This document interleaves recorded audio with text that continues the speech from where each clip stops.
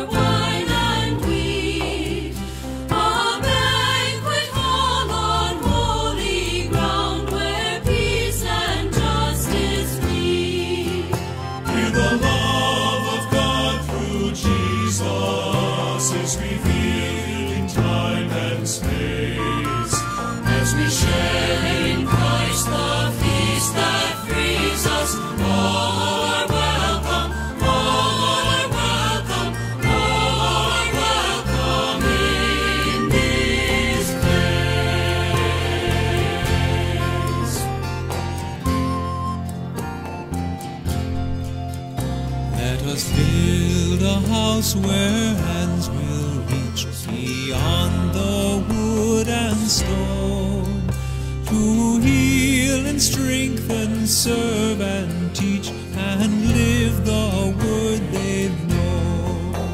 Here the outcast and the stranger bears the image of God's face. Let us bring an end to fear and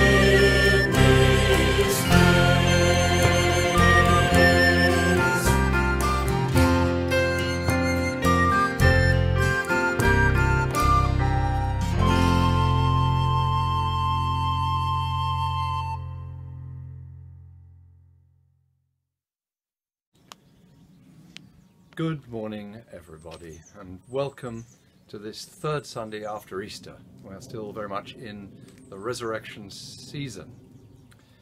Well, for many of us, and certainly for me, this is a slightly strange way of worshipping. But the important thing is that it is still worship, and I do hope that as we go on together, you will feel a real engagement with our Lord Jesus through the Holy Spirit. Now, this service has been pre recorded, and many people have contributed to it, just of course as they would when we're in church together. Tessa will give us the opening prayer in a moment. Elizabeth and Bob will read the Gospel, and Joris and Anita and Di will provide music. And the Hosene family will help us with our prayers. Now, there will be a time a bit later on when we can uh, share the peace uh, in a virtual kind of way by sending a text message to someone whom we love. This won't be a service of Holy Communion, but there will be a time quietly to enjoy knowing that we are in the presence of Christ who loves each one of us. Today our theme is around the idea of journeying through life, through different landscapes and with different people at different times. And our journey story today is about those two friends walking to the village of Emmaus after the crucifixion and being joined by a friend. And we'll meet, read more about that in a bit. So now we'll pause for a moment and settle ourselves. And before Tessa says our opening prayer, we'll listen to a wonderful hymn by Marty Haugen, The Road to Emmaus. On the journey to Emmaus, with our hearts cold as stone, the one who would save us had left us alone. Then a stranger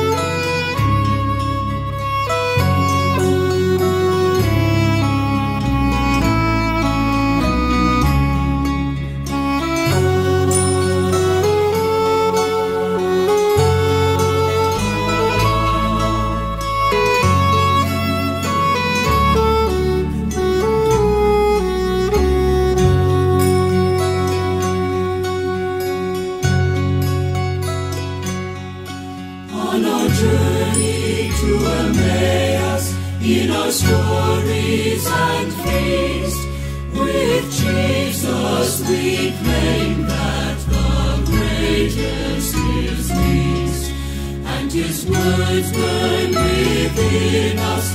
Let none be ignored. Who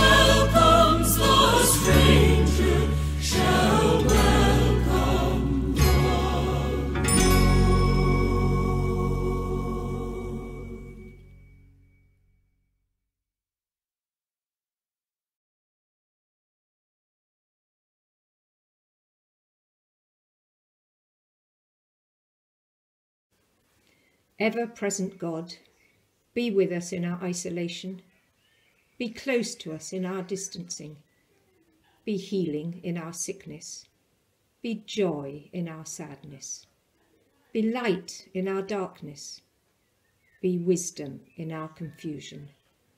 Be all that is familiar when all is unfamiliar. That when the doors reopen, we may, with the zeal of Pentecost, inhabit our communities and speak of your goodness to an emerging world for Jesus' sake. Amen. So now we come to our moment of saying sorry to God for the things that have gone wrong in our lives. Father God, we bring to you the wrong turnings we have made in our life's journey. Lord, have mercy. Lord, have mercy. Jesus our Lord, we bring to you the many on our journey whom we have failed to befriend. Christ, have mercy. Christ, have mercy. Holy Spirit of God, we bring to you the times when we did not recognize Jesus with us. Lord, have mercy. Lord, have mercy. Almighty God, who forgives all who truly repent, have mercy upon you, pardon and deliver you from all your sins, confirm and strengthen you in all goodness, and keep you in life eternal through Jesus Christ, our Lord. Amen.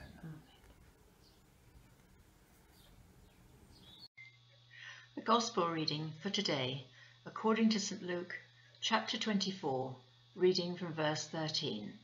The road to Emmaus.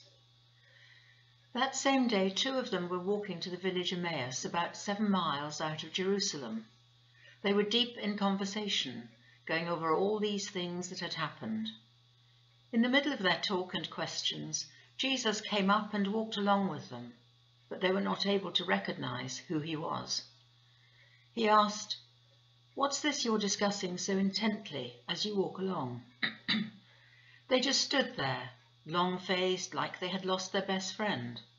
Then one of them, his name was Cleopas, said, Are you the only one in Jerusalem who hasn't heard what's happened during the last few days? He said, What has happened?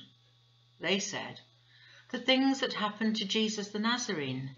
He was a man of God, a prophet, dynamic in work and word, blessed by both God and all the people.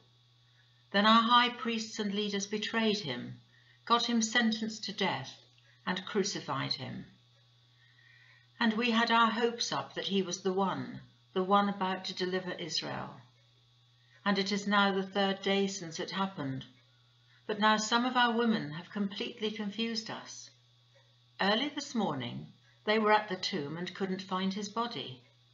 They came back with the story that they had seen a vision of angels who said he was alive.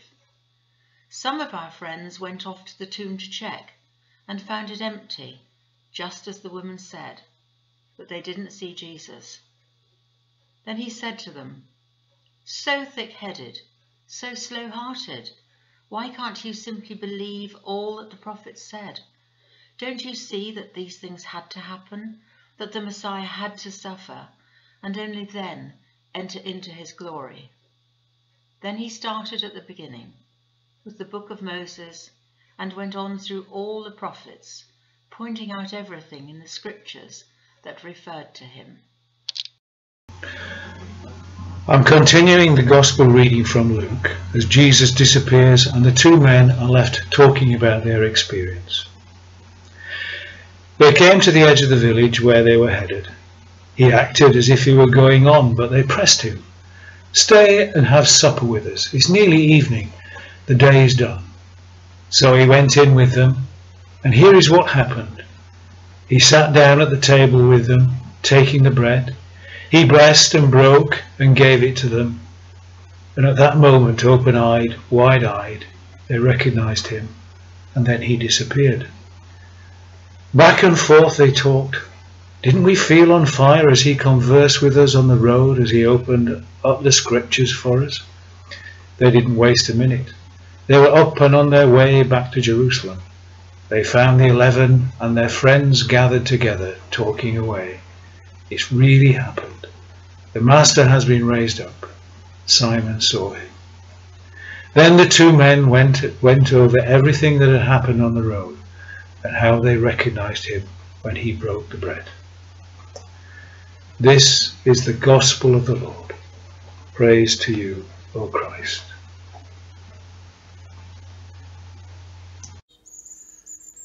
Well, as we know, there are many stories in the Gospels about Jesus after his crucifixion, and all of them record his friends' fear and astonishment at meeting him again.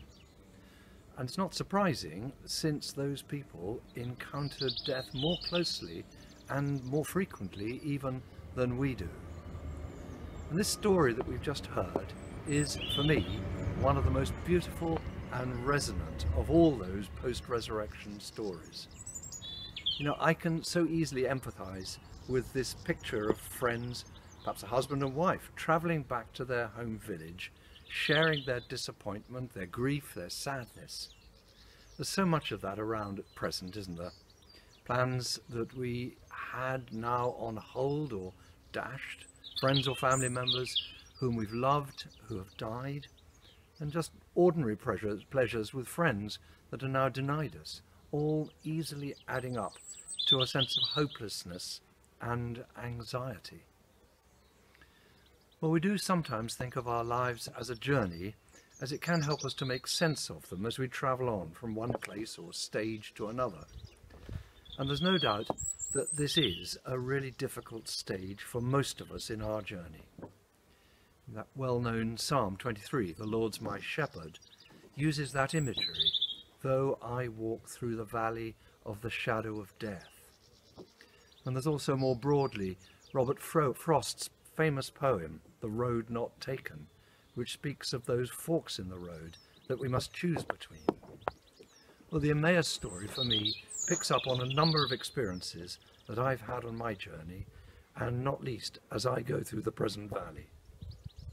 Maybe that's also true for you. There's the experience of being able to share what's happening with someone else, as these two in the story did as they walked along, not keeping it bottled up inside, where it can turn to bitterness or depression. Although we may not for the present be able to share a meal together or a drink in the pub as we would have done, there are the conversations in the street, on the telephone, and through all these electronic ways that we are discovering. And then there's the experience of someone who perhaps unexpectedly comes alongside and puts our situation into the wider context of our life's journey. Someone who gives me perspective on my immediate situation and perhaps helps me to see some meaning in it and some hope for the future. And in this story, Jesus puts the friend's sadness into the wider perspective of God's story for the world seeing each stage in our life as having wider value and meaning is really important for us. And then there are the moments when I see a situation more clearly than I did. I love the moment in that story when it says, their eyes were opened and they recognized him. For some of us, the story speaks to us about the times when we realize afresh that he is with us and actually has been all the time and others of us may speak of light coming into a dark time, or joy reappearing through sadness. Well, I hope that this story will help us to know that we are not alone, that there is meaning to our lives, and that our hearts can still be warmed when all around seems to have gone cold. Now we have a few minutes just to pause and either have a time just asking each other or thinking about who might it be from history, from fiction or from the Bible that you would at the moment most like to share a walking conversation with. And then we can move on to sharing the peace together, either with those with us at home if they are, or send a text message to someone whom you love You can easily do that on a smartphone. Well, during this time, Anita and Joris will play some gentle music by Bach for us, and then we'll move on to our time of prayers from our two families.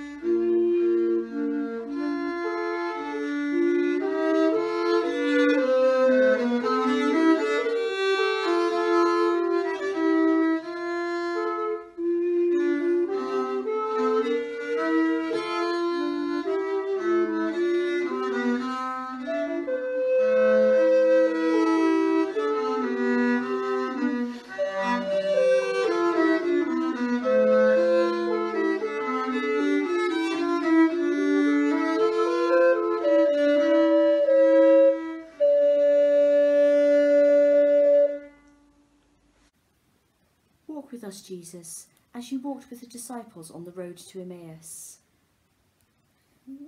Walk with those who are feeling alone and lonely. Walk with those who are worried about money. Walk with those coping with homeschooling and help us to understand how we may support them. Walk with those who suffer alone, at home, in hospitals and in care homes, and with those who care for them, as they make their journey without their loved ones. Help them to recognise that you are with them. Walk with us, Jesus, as you walk with the disciples on the road to Emmaus. As we journey each day through these difficult times, Give us the courage, patience, and hope to see new possibilities ahead. Open our eyes to a renewed world of loving relationships. of a clean and green planet full of peace and joy. As we travel on, we thank you for the blessings in the midst of troubles. For all the new ways to share our lives together. For the beauty of the spring countryside around us. For new friendships made And for your presence with us every step of the way. Amen.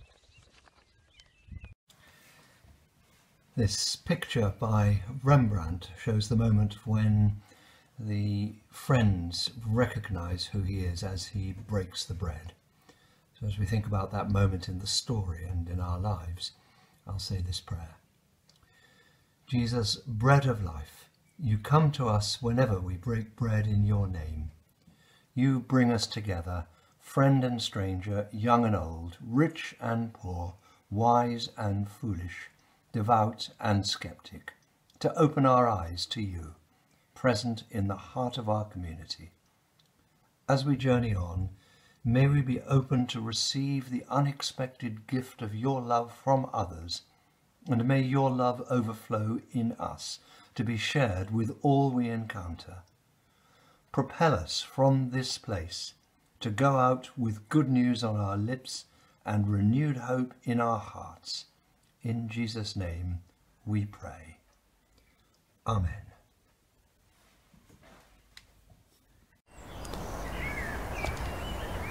Our Father in heaven, hallowed be your name. Thy kingdom come. Thine will be done, on earth as it is in heaven.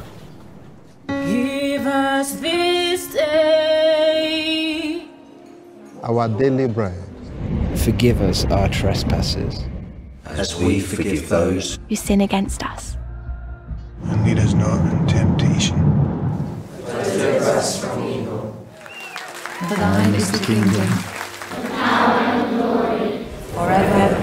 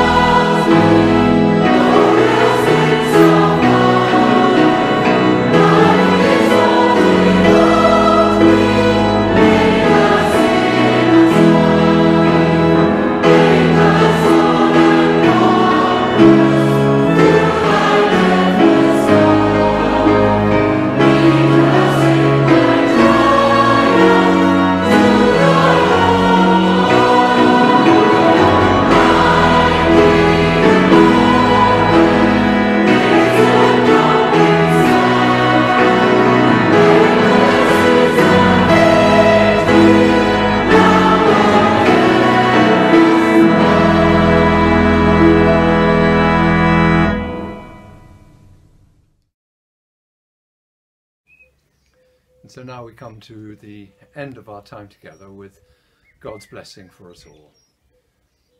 God the Father, by whose glory Christ was raised from the dead, strengthen you to walk with him in his risen life.